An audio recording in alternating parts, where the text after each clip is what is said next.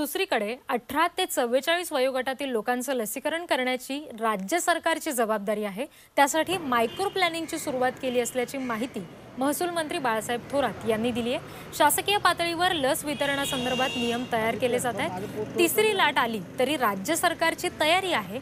Oxygen उत्पादन आणि उपलब्धता यांचा मेळ घालावा लागणार असल्याचं सुद्धा थोरात यावेळी म्हणाले. लसीकरण लवकर होणं अत्यंत गरजेचं आहे आणि त्याकरता आपली नियोजनाची सुद्धा पूर्ण तयारी आहे. आणि माननीय मुख्यमंत्री काल सांगितलं की एक रकमी चेक सुद्धा देण्याची तयारी आमची साडेसहा हजार कोटी रुपये लागणार आहेत.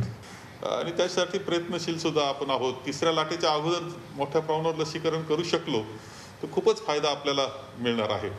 फक्त उत्पादन आणि शेवटी याचा मेळ हा घालावा लागणार आहे आणि त्याची त्याबाबतीत जबाबदारी केंद्र सरकारची आहे. सह्याद्रीची उंची. म्हणजे? अमरावतीमध्ये पहाटे चार वाजल्यापासूनच रेशन दुकानाबाहेर नागरिकांनी रांगा लावल्यात. कोरोनाच्या पार्श्वभूमीवर राज्यात सकाळी अकरा पर्यंतच जीवनावश्यक वस्तूंची दुकानं सुरू ठेवण्याची परवानगी आहे. त्यामुळे रेशन दुकानांवर गरीब तसंच मजूर वर्ग गर्दी करतोय.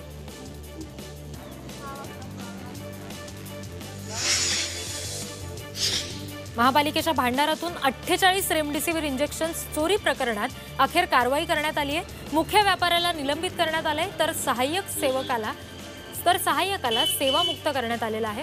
या दोन्ही अधिकाऱ्यांवर गुन्हा दाखल करण्याचे आदेश प्रशासनानं दिले आहेत.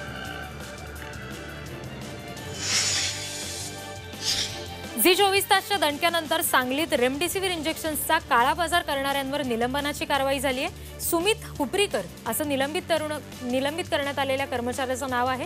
मिरज शासकीय रुग्णालयातून रेमडेसिवीरची ही चोरी झाली होती.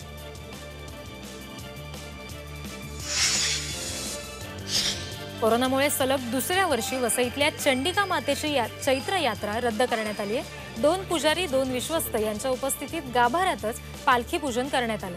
तसंच ग्रामस्थांनी सुद्धा घरच्या घरी राहूनच आनंदोत्सव साजरा करावा आणि सहकार्य करावं असं आवाहन मंदिराच्या विश्वस्तांकडून करण्यात आलं.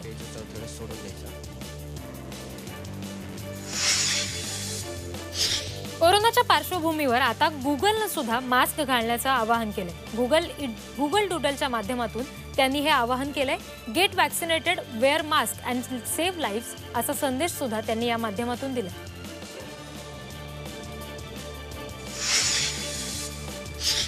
कोरोनामुळे अनेक व्यापाऱ्यांना फटका बसलाय.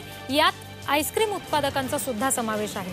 हंगामात सलग दुसऱ्या वर्षी लॉकडाऊन असल्यामुळे देशाला पंधरा हजार कोटी तर राज्याला पंधराशे कोटींचा फटका बसला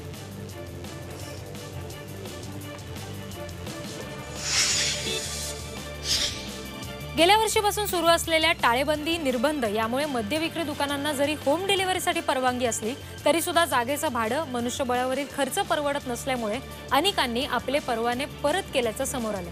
आतापर्यंत एकशे चोवीस मद्यविक्रेत्यांनी आपले परवाने परत केलेले आहेत.